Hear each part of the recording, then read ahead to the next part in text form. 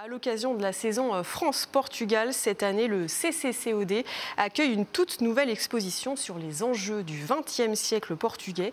40 femmes artistes présentent leurs créations à découvrir jusqu'en septembre 2022. Regardez, c'est avec Théodore de Queiroz. L'exposition commence par cet autoportrait d'Aurélia de Souza. Un regard frontal qui défie les conventions du siècle passé. Le ton est donné. Ici, ce sont les femmes qui posent leur regard sur l'histoire et plus particulièrement celle du Portugal. Dans cette exposition, on déambule entre les enjeux du siècle dernier au fil d'un parcours chronothématique. Déconstruction des rapports entre l'homme et la femme, à celui du corps ou de la sexualité. On monte ensuite dans les étages, comme dans le temps. Est alors abordé l'enjeu colonial du Portugal.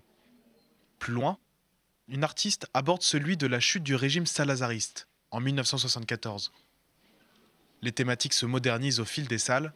Dans la suivante, il est question de notre domination sur la nature. Et ici, ce qu'on voit, c'est, la géométrisation euh, en cube euh, d'un arbre. Finalement, c'est toute la complexité du XXe siècle portugais qui est projetée sur les murs du centre Olivier Debré. L'histoire déconstruite par 40 femmes.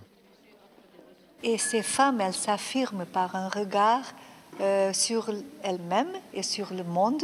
C'est vraiment une proposition euh, politique comme euh, un, geste de réparation de l'effacement de, de la femme depuis des siècles et des siècles.